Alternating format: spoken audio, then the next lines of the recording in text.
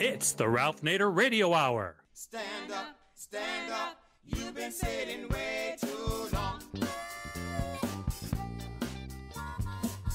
Welcome to the Ralph Nader Radio Hour. My name is Steve Skrovan, and along with my co-host David Feldman. David, it is 500 episodes over nine and a half years. This is episode number 500. That's why I'm wearing a bow tie and nothing else. oh boy, ah, so glad we're on radio. And we have the man of the hour, Ralph Nader. Hello, Ralph. 500 episodes, Ralph. Hello, everybody. Well, the 500 episode is going to deal with workers and unions by a union leader who really speaks his mind. You know, we've talked a lot about the Writers Guild strike on this program.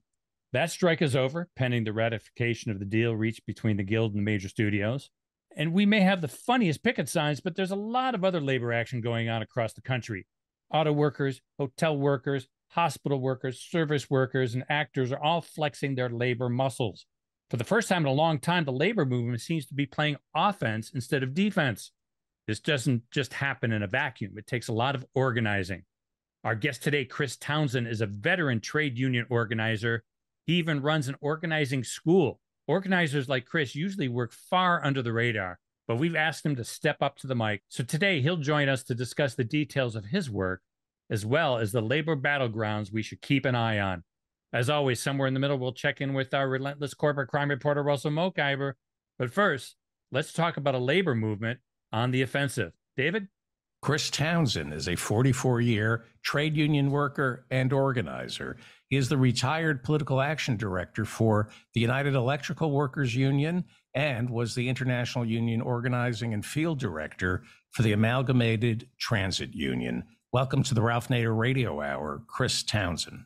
Thanks. Thanks for having me.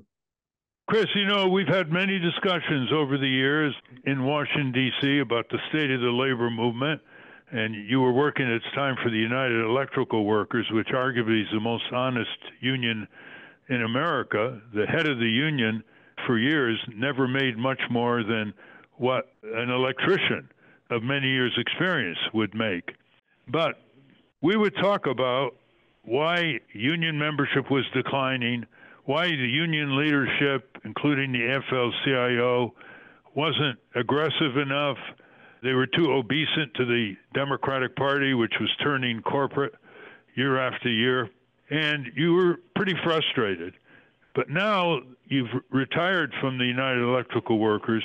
You're more optimistic. You're more upbeat because there are all these union organizing efforts, many of them by young people in their 20s at Starbucks, at Amazon warehouses, and elsewhere.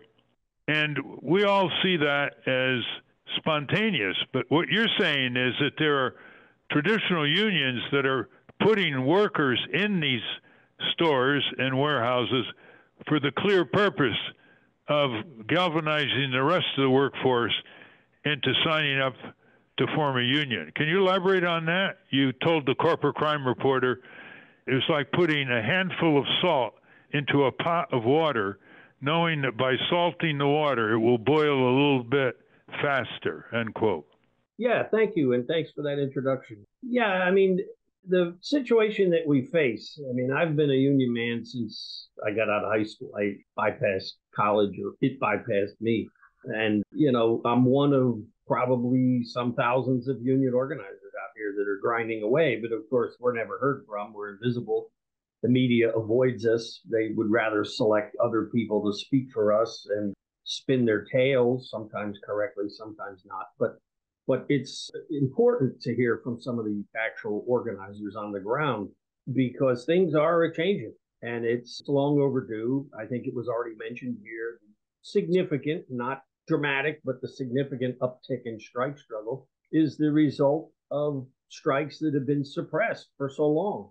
And bargaining is, you know, you conduct it as best you can, but the laws of the land are weak that protect workers and would force the laws, and they're not enforced. So strike struggle is overdue. I don't think that there has been anything but you know righteousness associated with the Writers Guild strike, Screen Actors, the railroad strike, which was broken by Biden's foul hand. And we're certainly facing a strike struggle at UPS My union, UE, has just ended a two month strike at the biggest locomotive manufacturing plant in the United States, Wabtec, up in Erie, Pennsylvania. And in my time after I retired from the UE, which was hard for me to do, but I returned to a union I had been when I was first a teenager, which was the Amalgamated Transit Union. But I went back as the organizing director and the field director. And it was a moment in time that I saw and I grabbed it. You know, the ring only comes around, you know, infrequently in your life. And I became the organizing director and was the most successful organizing director, new organizing director in the history, recent history, at least living memory of that union. And I began to sense that there were changes afoot, demographic, uh, political, overdue, piled up business that workers were finally, you know, being forced to respond to. And after, you know, I think the first 30 years of my time in the labor movement was almost all defensive, fighting one rear guard action after the other, trying to hang on to whatever we could hang on to. But then here we come into the current decade and we begin to see some offensive action. Now, one of the things, and I explained to the corporate crime reporter that we had done in my time at ATU was when Larry Hanley was the president of that union, when he was still alive, he passed away. But it was Larry Hanley, myself, and long established U.S. organizer Richard Bensinger. And we put our heads together and we said we need to experiment with something more bold, more aggressive, and maybe set an example, maybe pull some folks along with us. And we began a small organizing school, sort of an informal collective. We call it the Inside Organizing School. We began it at the very end of 2017. And it was an unusual school in that it was sponsored by, initially, it was sponsored by the Amalgamated Transit Union, but it was a multi union school. And one of the things that we did was to put a very heavy emphasis on trying to design campaigns where we could send people into these workplaces to help initiate or salting. Salting is not a new thing. It's nothing we invented. It's as old as the trade union movement. I had been assaulted as a young man in six different workplaces, you know, when I was young enough to have the energy to do that kind of thing. And in any case, it's really, as you said, Ralph, it's a way to move it along faster. It is not a substitute for a trade union leadership that would seriously launch campaigns of organizing, but it is at least something that we can do as the left wing in the labor movement, whatever there is of it, to push on the union and to initiate campaigns. So we ended up having a number of successful campaigns by pulling together, you know, seasoned, experienced, aggressive trade union organizers, bring them together with, frankly, some of the younger faces that are emerging by the hundreds of thousands from the workplaces, from the colleges, and we see them, you know, throughout you know society, you know, playing their role as new leftists, frankly. And we combined some of these folks with some with an experienced eye, and we were able to initiate tremendous amount of trade union activity, Starbucks among it. And I was just as surprised as anyone else that it caught on. But I think what we're responding to is a younger workforce that is assessing the future and it's bleak for them, unless there's some movement building here and trade union struggle conducted to push back against these employers and push back against these degraded and degenerate governmental forces who sponsor these corporate forces. You know, everyone well, here knows none of these situations exist absent support from the government or at, at worst, total neglect. Well, we're going to talk about the anti union laws led by the Taft Hartley Act of 1947, which the Democrats have never made a serious effort since then to repeal when they were controlling Congress. But the tide of public opinion has turned in favor of labor unions now. Majority of the American people have a favorable view of unions, even though not more than one out of 10 workers in the U.S. belongs to a union. And another poll showed that the vast majority of the working class, between 70 and 80 percent, would gladly join a trade union if the opportunity presented itself. But I think what most people don't realize is you can have a successful union drive in a workplace, a factory, or a chain store locations, and the, the union can be certified by the National Labor Relations Board but nothing happens unless there's a contract negotiated and signed by the employers and the union. And that's where the hurdle really emerges because after an exhausting effort to combat union busting efforts by corporate law firms infiltrating workplaces and dividing and ruling, spreading a lot of propaganda and fear, the petition drive succeeds and it gets certified as a union, the employers can start delaying negotiation for months and years. And one of the reasons this is possible is because we have the most anti union laws in the Western world. So, what would you do if you were telling Congress to reform the labor laws? How would you do it? Yeah, there would be a number of things, and uh, I'll just build out, Ralph, some of the awful truth there about what it is. We have seen in recent decades a dramatic decrease in the number of union elections. Now, let's get it on the record, everybody here, that you only get a union election when you've already run through the withering fire from the employer. Virtually none of these employers in the United States will respect your right to organize. I assert, and we continue to run our organizing school, and this is how I open the school by declaring what everyone agrees, which is the workplace in the United States is a dictatorship. And if you're willing to challenge that dictatorship, create a rebellion against it, you might be able to build a union. But if you look at the statistics, the number of elections, the number of those campaigns that actually get that far, which is only a small number, most of them are incinerated, liquidated, poison gassed, fired, terminated out of existence before you ever get that election. But if you get that election, the labor movement is winning, depending on which statistics you want to use, winning about half of those elections. Now, that may seem encouraging to some, but if you study the size of the units that are voting in those elections, in other words, how many people in those workplaces compared to 30 and 50 years ago, the size of the units has also dramatically shrunk. So we're bitten from both ends. We have fewer elections that are being run, and then we have most of those elections, including far, far fewer people. So, of course, with a very aggressive and a pathologically anti union corporate elite in this country, we've seen what some would call the decline of the labor. Not the decline of the labor movement, it's the you know the deliberate destruction and repression of the labor movement. And it leaves us in this situation where then you come to the politicians. And there are many things that they could do, the vast majority of which they won't do. Everyone here is aware the Democrats have had a majority for at least two years in four recent presidents, and they will not move the kinds of legislation that we need in order to at least begin to address the labor rights crisis in this country. And we also have a situation where, and I, I laugh out loud when Joe Biden puts the crown on his health, a la, you know, a la Napoleon here, and declares himself to be the most union president in the United States history. Well, it's absurd on its face.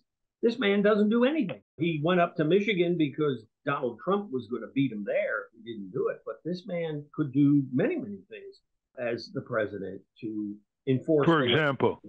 For example, well, let's get some companies' names out here Starbucks, Amazon, I could mention 150 others. Engaged in systematic repression of the workers' rights, violation of the law on a wholesale basis. Where is the Department of Justice? Investigating this conspiracy to mass repress people's rights. Now, maybe there's legal scholars that would sit around and say, well, I don't know if that's really against the law. Well, that's the law that matters to working people and matters to the labor movement. Biden is the president. He could put that machinery into motion, become incredibly aggressive. He could summon these CEOs to the White House and read the riot act to them. Now, let's get it on the record. When he crushed cynically and ruthlessly the railroad strike, a strike that was 40 years overdue, a strike where workers in large measure were voting to be able to take a day off. So we see industrial serfdom in that industry has sort of returned. What did Biden do? He didn't do anything. He undermined the strike. He could have led that strike. I think maybe after his trip to Michigan and his handlers, I think maybe they realized that had they led that railroad strike from the top, it would have been incredibly popular incredibly successful and he would have actually looked like a legitimate leader. But instead, he tries to have it both ways. He likes to talk a little bit about it, but he doesn't want to actually do anything. And putting the machinery into motion to prosecute this wave of corporate crime. Of course, you know, Ralph, your entire career, you've seen, you know, how the they let off the gas pedal, so to speak, when it comes to actually enforcing law. Same problem is uh, with the labor rights situation. But one of one of the abuses that you're talking about is that companies regularly fire yes. the leaders of union organizing efforts in the workplace. And under the weak labor laws, if the fired worker can afford a lawyer and get reinstated, all they do is get back pay, and that may take three, four years. So it's almost never a situation where these fired workers are reinstated, and he hasn't he hasn't spoken out against that from the no, White exactly. House. And and let me add a little bit to what you brought up there. Workers are fired in a shockingly high number of union organizing drives. Frequently, that information is never collected because the union drive may never even get out of the crib, so that it may not even make the statistics. I, as a you know, 44 year union organizer, either as a worker in the shop or as a staff organizer in several unions, I have personally seen thousands and thousands of people fired. And you know, I remember what 2018. I live in Alexandria, Virginia my union, the ATU, when I was the organizing director, we organized the city owned private bus company. And it was one whale of a fight. Now, this is a city completely controlled by Democrats. Let's get that on the record. But once we won that election, after confronting rank racist union busting and enormous expenditure for this, once we succeeded in winning just for spite the employer, the Dash bus system in Alexandria fired both of our union NLRB election observers. Even though they had lost the election, they fired both of them. Well, only one of those workers went back to work. One walked away and said, to heck with it. But the piece that I wanted to add, Ralph, to what you had said, even if a worker today, when they're fired, has the stamina to hold their breath long enough to go through the sometimes multi year NLRB legal process to eventually find that they're being ordered back to work, first of all, many employers appeal that for more years. Or even if they are ruled back to work and the employer consents, that worker is only awarded back pay minus their earnings. What is earnings? Unemployment compensation or other jobs that they had. So it's quite frequent that workers never are entitled to any back pay or no significant back pay. Let's be very, very realistic here. I don't think there can be a labor union movement in the United States under present federal laws.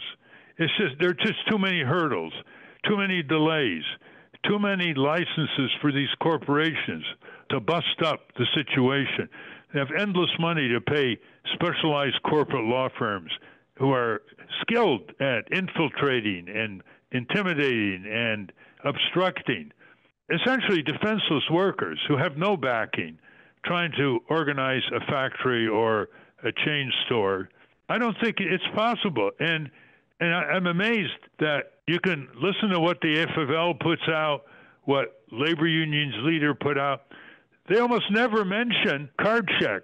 They never mention repealing Taft Hartley. They don't force the Democrats who get elected in no small part because of union support to put these labor law reforms in place.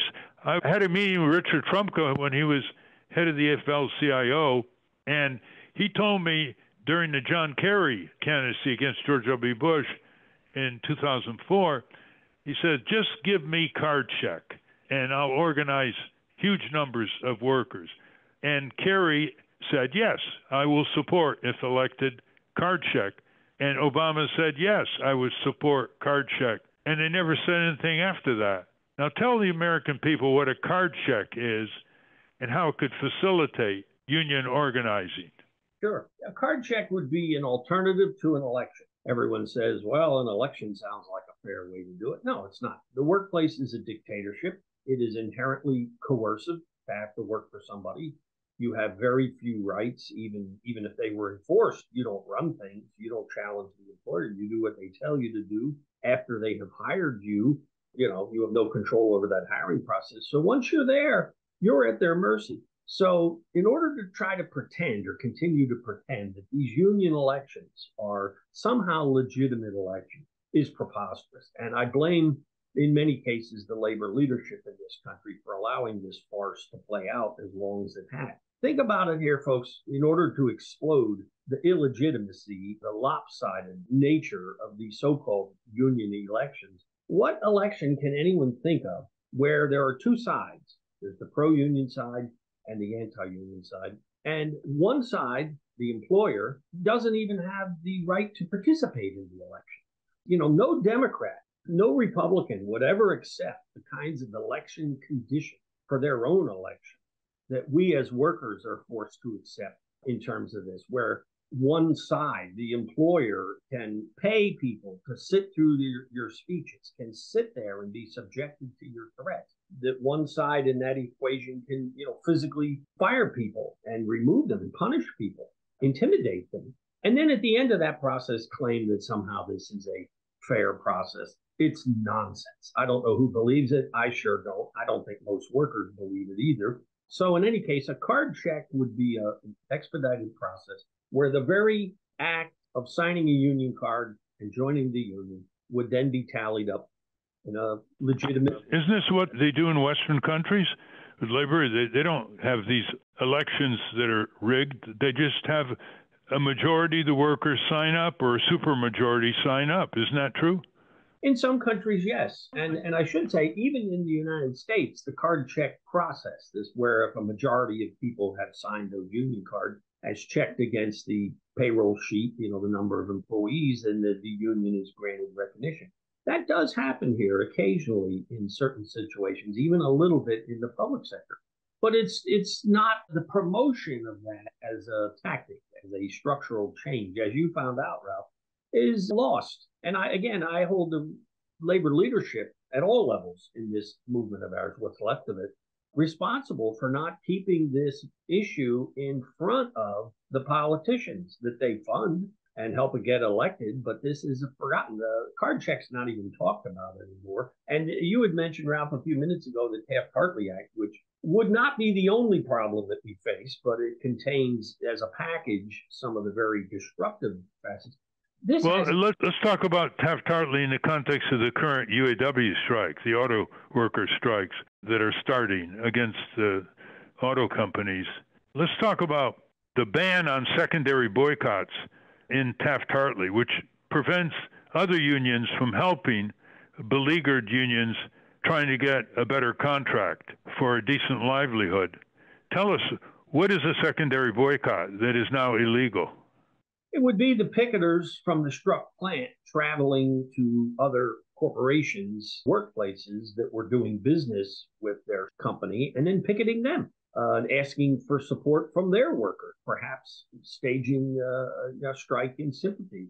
And this was a common tactic, a very effective tactic, and it was banned as part of the reaction against the 1946 strike wave, and that kind of came together by 1948 as what became known as the Taft Hartley Act.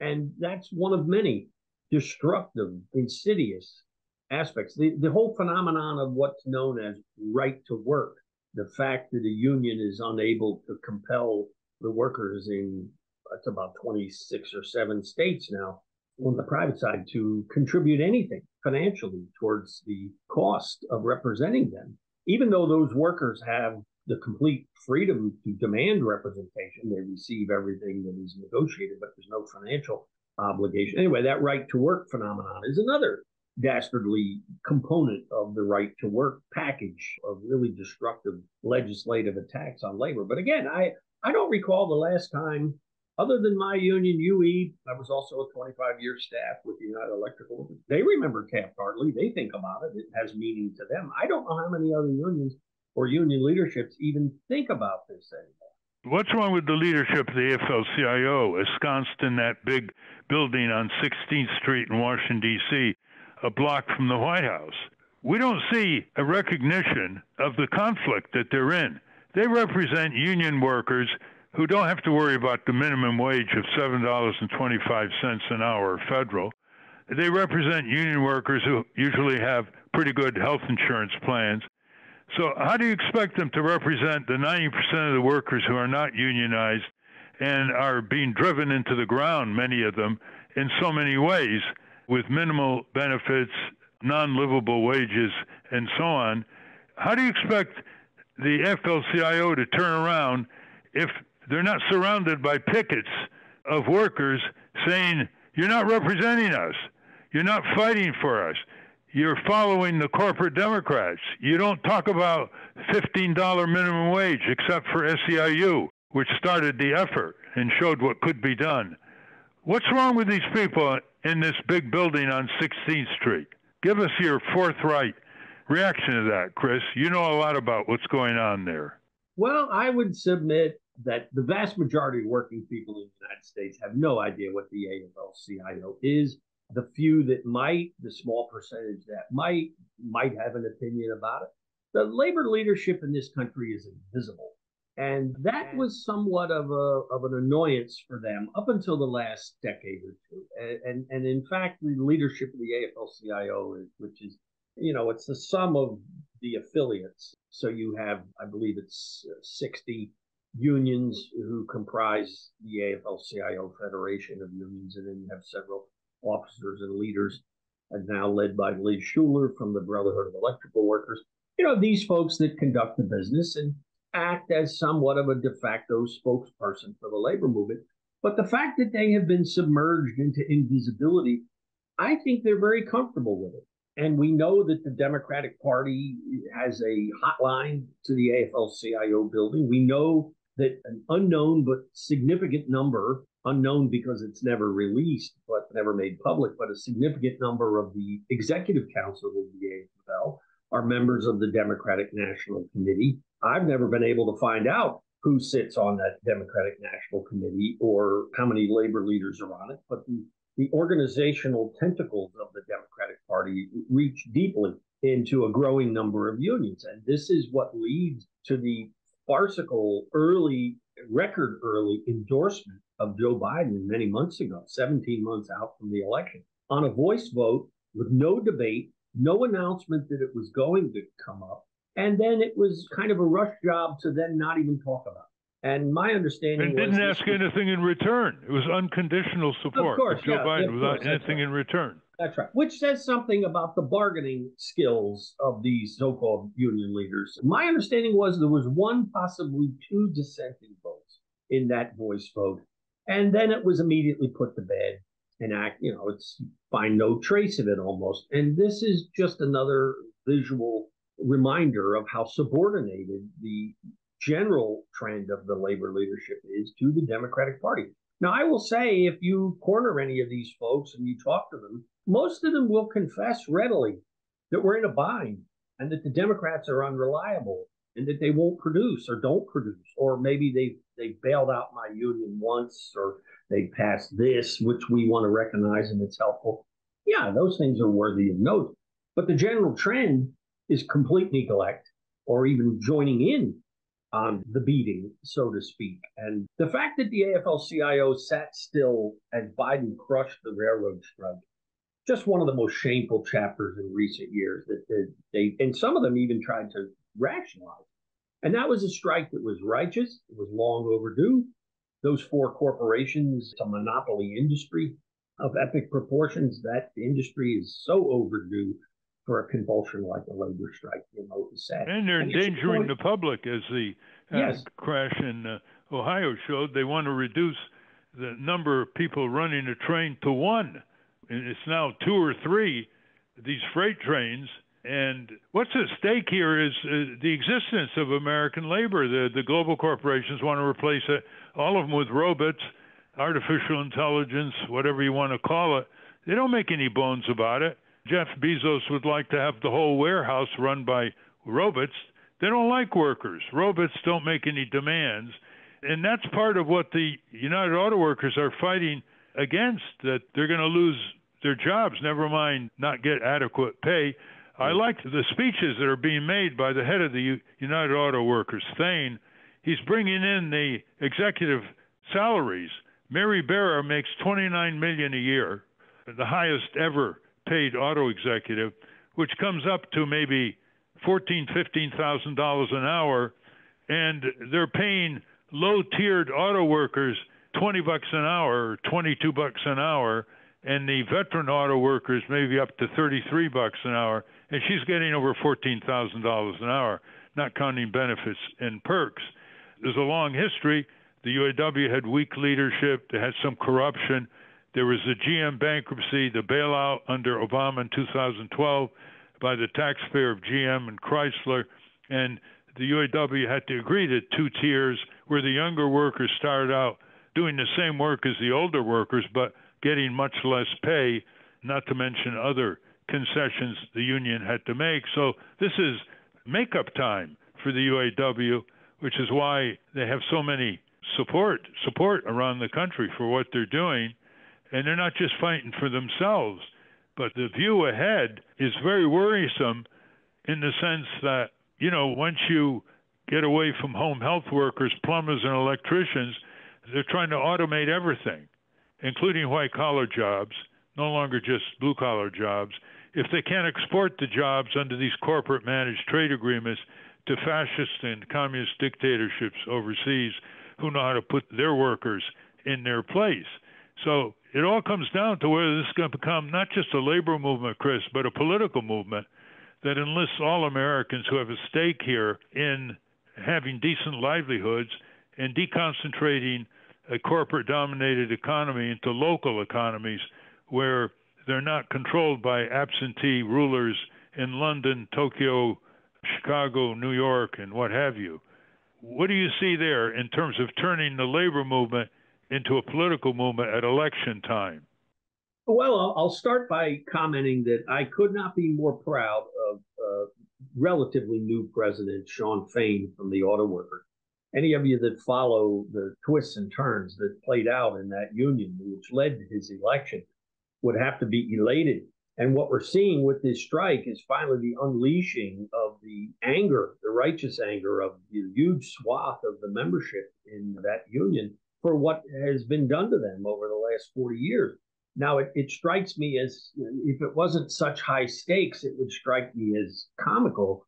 Uh, Joe Biden and his handlers discover that this is a big slice of the workforce that they have ignored at best or even participated in abusing over the decades that were. So now they suddenly find out that their probable opponent, Trump, is going to go out and get there a day ahead. So they had to run and catch up. And we all saw how long Mr. Biden spent on the picket line minutes but he did go. This is worthy of note.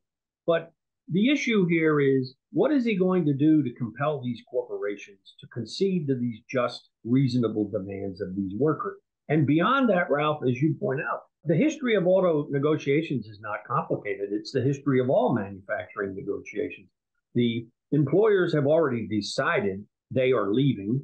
It's just a matter of how quickly they do it. It should get on the record. There's more auto workers in Mexico today than in the United States, unionized or unorganized. And this is the political neglect or willing conspiracy with these big companies to deindustrialize the United States. It's a process that's been very successful in my lifetime, and it has a ways to go, but it seems to be doing so. One of the things that the Biden administration needs to do is, you know, put tremendous pressure on the unorganized corporations to allow their workforces to organize if they want to, and most of them would. And again, to insert into that situation and prevent the union busting and whatnot, which all of the unorganized auto companies use. I'll remind everyone that just a few months ago in Buffalo, New York, the Tesla Corporation fired 40 workers in one of their plants in Buffalo. Boom, crushed the union drive in five minutes. That'll never be adjudicated to any great effect. But instead, that corporation is fed the mother's milk of subsidies that are difficult to comprehend. So the bad behavior is actually rewarded in many cases by these political leaders. And and you know, this auto strike is really the creation of the Biden administration in some part because of their uh, virtually unlimited subsidy of the electrical vehicle industry, which the United Auto Workers is not opposed to, but what it realizes is what good is it to bargain a contract with the big three, settle it, have the first paycheck come with the improvements, and then see, you know, another third of your members laid off with plant closings and transfers to unorganized plants. You know, it's a much more comprehensive crime being committed against working people. And as long as we get platitudes, we get the ridiculous, you should have a fair contract. These are meaningless platitudes. What we need is a real serious presidential effort to really rein in this wave of corporate crime. Let's talk about the workers themselves. You got about 40% of union workers voted for Trump in 2020 after they knew that his promises in 2016 were as phony as a $3 bill and his whole business career was anti-worker, anti-union to begin with and let's say he sold them a bill of goods with his bloviated rhetoric in 2016. What's the excuse for 40% of the unions voting for Trump in 2020? Is it because the union leaders are not educating the rank and file? They don't meet with them. They don't have, like they used to in the old days, book clubs. The union newspapers are extinct that used to go out weekly. How do you explain it? You certainly don't exonerate that kind of political masochism, do you, on behalf of 40% of the union workers? Yeah. In certain unions, it's more than 40%. And I should say, uh, listeners may not know this, but most unions conduct extensive polling of their members. Now, that calls into question what kind of a union leader would have to poll their members to get connected to them or find out what they're thinking. But the modern large union will do this. I suppose it has its merits. And when these polls come back, this is something that's gone on for several decades at least, it's very worrisome for many of the union leaders because they see large, large sections of their membership who are supporting overtly anti union politicians like Trump, for instance. But I'll tell the story, my own personal story, on the, what was it, January 7th of, what was it, 2021, I guess, when we had the day before, we had the you know, the fascist hordes storming the Capitol and whatnot, I called the president of the Amalgamated Transit Union. And I said, we have to do something to educate our members. We knew that there was a large section of our members in the Amalgamated Transit Union that were sympathetic or supportive of Trump, and even worse. So, what are we doing? Are we going to run an educational campaign? Are we going to make a systematic effort to go out and engage in conversation about the political realities and whatnot? Well, nothing was done nothing was done. And in most of the unions, nothing is done and nothing will be done. So it's just uh, they leave the members up for grabs. They don't make any effort to connect with them. They cancel their magazines. They cancel their newspapers. They, you know, they they post a website and just say go online and you'll learn everything you need to know. And it is a woeful neglect that has led to this situation where we cannot. There may only be eight and a half, nine percent of the workforce that's unionized, but we can't count all of those folks as active, conscious union leaders and supporters. We see this erosion when our leadership so systematically neglects the education. And then on, on the two party trap, Ralph, you know, look, you, nobody knows that any better than you. And, you know, that this is a, a trap that we're in and it, you have to struggle against it. But first of all, you have to recognize it you'll never challenge it if you're not even willing to recognize it. And this is a perversion of it's a, I guess you could call it sort of a variation of democracy, but it's certainly nothing that has ever served working people very well. And it needs to be challenged. But again, if you're never engaging in a conversation with your members and their extended families and whatnot about how this system is structured to work against you, then it only becomes a, you know, every two or four year personality contest or a beauty contest. And it, it leads to this kind of debased situation. I, I should say, Ralph, maybe I'll mention this in this same breath.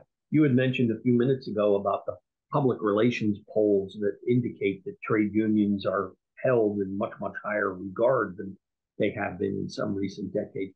Well, that same polling will reveal that probably the lowest status that the presidential world has ever had of either party. People no longer look to the political leadership for very much authenticity or legitimacy. And let's not forget the union leadership. The, the standing of the actual union leadership amongst their own members by those same polls will reveal that it is also eroded and become debased. And I think a lot of it is there's no bold, imaginative, certainly not progressive leadership to take on these questions. And as we're seeing with Sean Fain and the auto workers, if you provide sensible leadership that deals with workers' realities, they will follow. Uh, we saw that in rail up to the point until it was busted. Sean O'Brien at the Teamsters, you know, put an, an immense machine into operation, told Joe Biden and settled a very improved contract over what they would have had. But, you know, when you have a labor leadership that is lazy, unimaginative, rarely challenged, has a very timid view, a very limited worldview, and they see their role more as administrators as opposed to leaders. This is the modern situation that we we face. We don't have much of a leadership, sadly. We have an administrator group, and they have administered the decline. As it said, you know, the, when the Democrats started taking money from Wall Street, they took the great economic issues off the table. That created a vacuum for the cultural issues, which the Republicans were delighted in exploiting, including Trump, who, by the way, was heard to say during the 2016 campaign, American workers are overpaid. And he wrecked the National Labor Relations Board when he became president, selected by the Electoral College. And he continued to freeze the minimum wage and opposed any efforts on Capitol Hill to raise it. And still, 40% of the workers are voting for him, even with the polls today. So there's a lot of work to be done a lot of interpersonal meetings in union halls, what's left of them, a lot of connection in the neighborhoods. It's got to become a political electoral movement if we're going to have anything that we call a labor movement. Well, on that note, we're, we're out of time. We've been talking with outstanding labor organizer Chris Townsend, and we want to continue on these themes in the coming months, Chris. Can you tell our listeners how they can contact you if you have a website? Well, our inside organizing school, believe it or not, does not have a website. We've grown the thing with word of mouth only, and it's sustained over six years, bigger than ever. So uh, there's that, I guess. In other words, you do person to person organizing and not remote type of organizing, if, if there's such a thing. And you make Russell Mokhiber, the editor of the Capitol Hill Citizen, very happy because he believes in print and getting it to people so they can hold it in their own hands, talk to one another, and not be sucked into all the mismatch and distraction and nastiness of the internet. Thank you, Chris Townsend. We want to have you on later to elaborate some more dimensions of the kind of agitation organization that's going on at various large corporate workplaces. Thank you, Chris. Thank you. We've been speaking with Chris Townsend. We will link to his work at ralphnaderradiohour.com. Up next, we're going to have a little free-form conversation with Ralph about various topics. But first, let's check in with our corporate crime reporter, Russell Mokhiber. From the National Press Building in Washington, D.C., this is your Corporate Crime Reporter Morning Minute for Friday, October 6, 2023. I'm Russell Mokhiber. The UK Education Secretary, Gillian Keegan, is ordering all mobile phones banned from schools. Gillian Keegan will order schools to outlaw smartphones during lessons and also in breaks in a bid to end disruption and make it easier for pupils to focus. Keegan believes that mobile phones pose a serious challenge in terms of distraction, disruptive behavior, and bullying, a government source told the Daily Mail newspaper.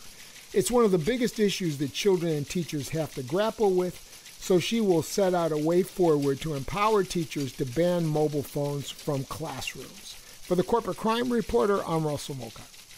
Thank you, Russell. Welcome back to the Ralph Nader Radio Hour. I'm Steve Skrovan, along with David Feldman, Hannah Feldman, and Ralph. Okay, Ralph, we want to talk about a few things before we go. First up, David. Ralph, there was an interview with you in the Washington Post that some people misconstrued. You were quoted as saying, We are stuck with Biden now. And then you said, I know the difference between fascism and autocracy. I'll take autocracy anytime. What did you mean by that? I meant that the Trumpster GOP is a fascist party. They believe in the corporate state, repression of the vote, censoring curriculum, censoring books, violent talk. They want to distort elections even beyond what they're distorted already. They have positions openly restricting the child safety net, like the child tax credit that cut child poverty in half until the Republicans blocked this extension in January 2022. They've come out against women's issues, clearly against a significant minimum wage. Some of them don't even believe in a minimum wage at all, against worker health and safety regulations. They want to protect the massive tax cuts so the super rich and the big corporations pay less, a lower rate on the tax schedule than a working plumber or electrician or even a teacher. They are all for a bloated military budget. You know, Wall Street can do no wrong. And they amplify Wall Street in a whole variety of restrictions on civil liberties and civil rights. And while the Democrats are bad, and I said in the article that Biden was terrible on Wall Street and empire, they don't go that far. And so there's always a little wiggle room under autocracy to start the process of reversing. But the repression under fascism is pretty total and becomes extremely dictatorial. The one thing I did say was the Democrats don't suppress speech, and a couple of your emailers took me up on that. What I meant was the, the Democratic Party, they don't suppress curriculums in schools and ban books and suppress the vote. But to give the listeners credit, they do suppress candidates of third parties, and that is suppression of freedom. And I should have qualified that. But sometimes you do all these qualifications being interviewed by a reporter, but they never appear in print because of space, and they want space for photographs and all that. But on this one, I should have qualified it. The Republicans are very adamant and determined in repressing the vote all kinds of ways. We know them, they've been published. But the Democrats haven't gotten enough blame for repressing candidates that might give them a, a, minor challenge from a Green Party or some other party and make our democracy more competitive at election time. And they should be denounced for that. Has the yeah. anti-majoritarian strain always been there in this country, but now they get amplified through social media and podcasts? Yeah, because the Constitution is written to support minority rights.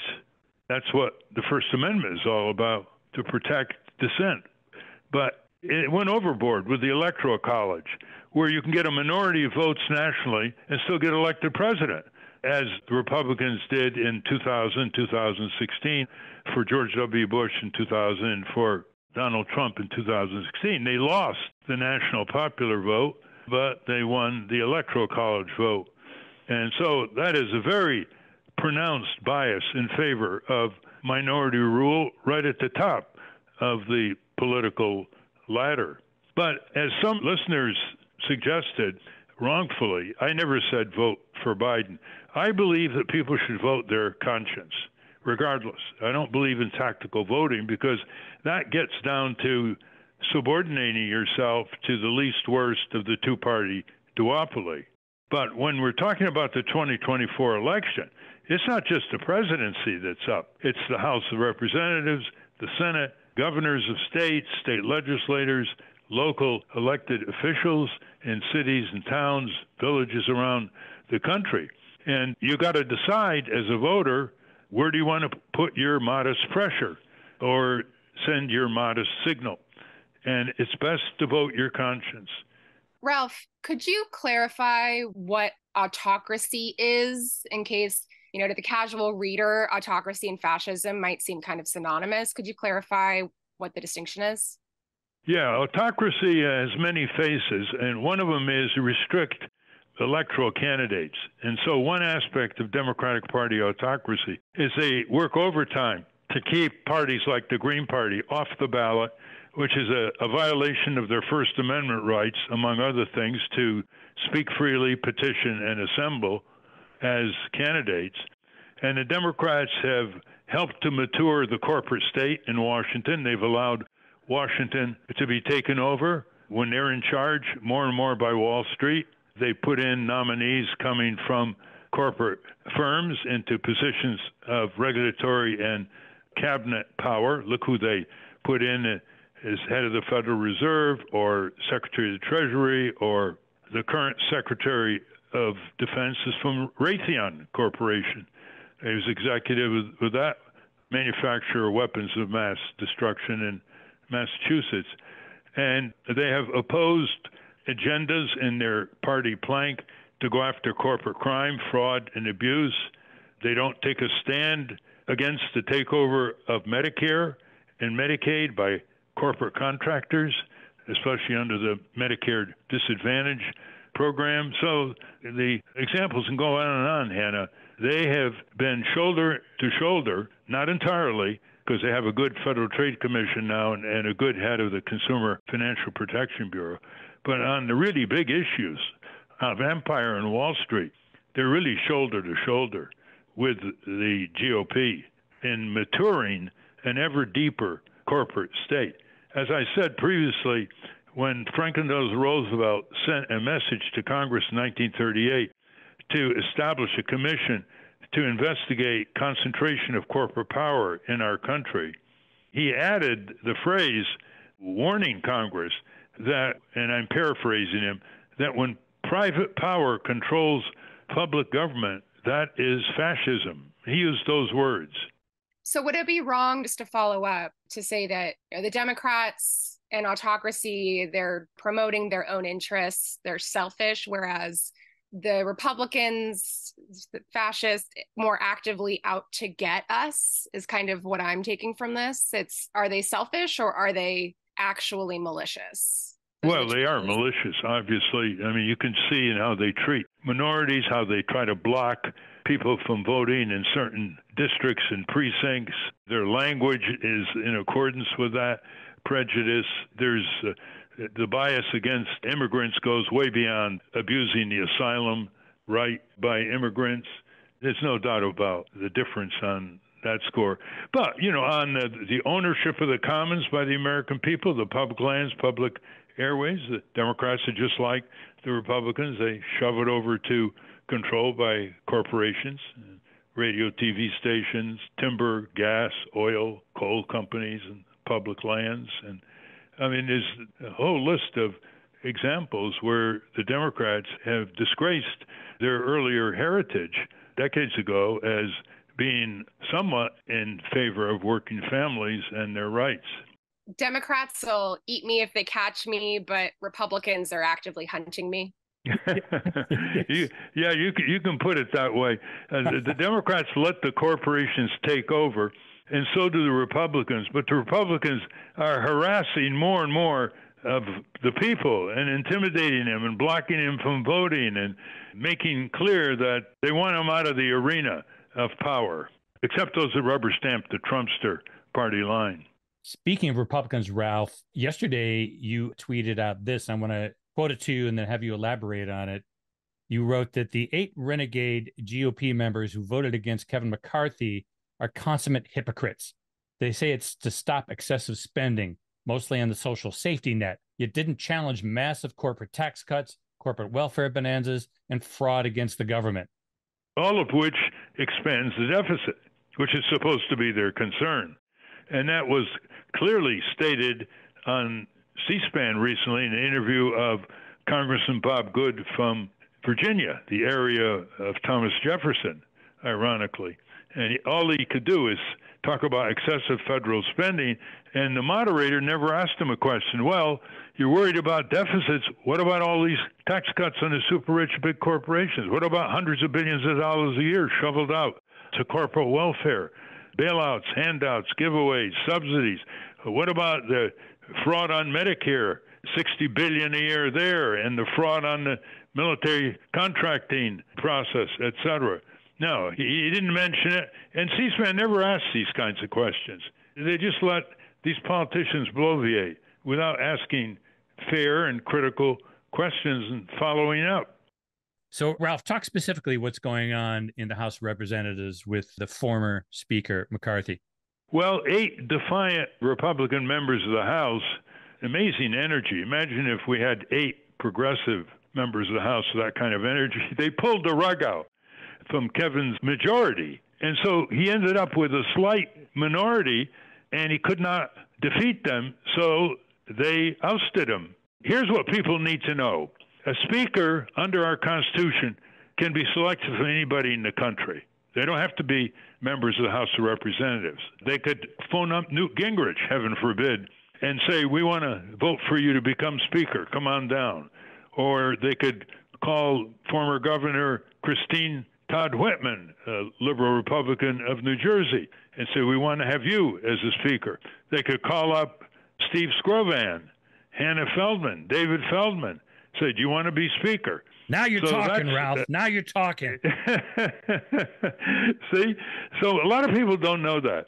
The second thing is in Article 1, Section 5 of the Constitution, a two thirds majority of the House can expel Matt Gaetz and Bob Good and the other renegades. They could just expel them from the House with two thirds. Well, they could get two thirds because the Speaker McCarthy Republican supporters are outraged, and they're in the vast majority of Republicans in the House, and the Democrats would like to get rid of the renegade Republicans. So we'll see how that plays out in the coming struggle. But I have to believe that this is going to damage the Republicans in next year election. I want to thank our guest again, Chris Townsend. For those of you listening on the radio, that's our show. For you podcast listeners, stay tuned for some bonus material we call the wrap up, featuring Francesco DeSantis. And in case you haven't heard, a transcript of this program will appear on the Ralph Nader Radio Hour Substack site soon after the episode is posted. Subscribe to us on our Ralph Nader Radio Hour YouTube channel. And for Ralph's weekly column, you can get it for free by going to nader.org. For more from Russell Mokhiber, go to corporatecrimereporter.com. The American Museum of Tort Law is going virtual. Go to tortmuseum.org to explore the exhibits, take a virtual tour, and learn about iconic tort cases from history. The producers of the Ralph Nader Radio Hour are Jimmy Lee Wirt and Matthew Marin. Our executive producer is Alan Minsky. Our theme music, Stand Up Rise Up, was written and performed by Kemp Harris. Our proofreader is Elizabeth Solomon. Our associate producers, Hannah Feldman. Our social media manager, Stephen Wendt. Join us next week on the 501st episode of the Ralph Nader Radio Hour. Thank you, Ralph. Thank you, everybody. Keep reading, keep thinking, keep buying books. The online progressive bookstore in our country that I would recommend, so you don't have to go to Amazon,